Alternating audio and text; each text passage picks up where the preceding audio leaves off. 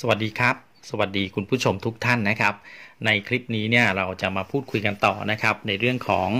การจัดการแข่งขันกีฬาขององค์กรปกครองส่วนท้องถิ่นนะครับยกตัวอย่างเช่น องค์การบริหารส่วนจังหวัด เทศบาล หรือองค์การบริหารส่วนตำบลก็ตามนะครับ ในประเด็นสงสัยก็คือว่า กรณีที่ท้องถิ่นเนี่ย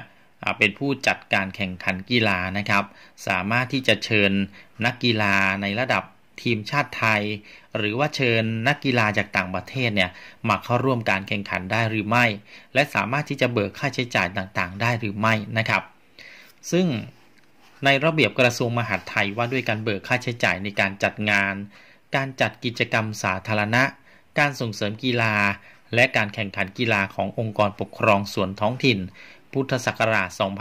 2564 เนี่ยเขาได้กำหนดเอาไว้ในข้อ 24 วรรค2นะครับว่า กรณีที่องค์กรปกครองส่วนท้องถิ่นนะครับ กรณีที่จัดการแข่งขันกีฬาเนี่ยนะครับเชิญนักกีฬาในระดับทีมชาติไทย หรือนักกีฬาจากต่างประเทศมาเข้าร่วมแข่งขันนะครับ ก็สามารถเชิญได้นะครับ และก็ให้เบิกค่าใช้จ่ายอื่นสำหรับนักกีฬา เจ้าหน้าที่ผู้ประสานงาน และกรรมการตัดสินที่สมาคมกีฬาประเภทนั้นรับรอง หรือกรรมการจากต่างประเทศได้ตามรายการต่อไปนี้นะครับหนึ่งก็คือค่าที่พักสามารถจะเบิกจ่ายได้เท่าที่จ่ายจริง กรณีพักคนเดียวเนี่ยก็เบิกจ่ายได้ไม่เกิน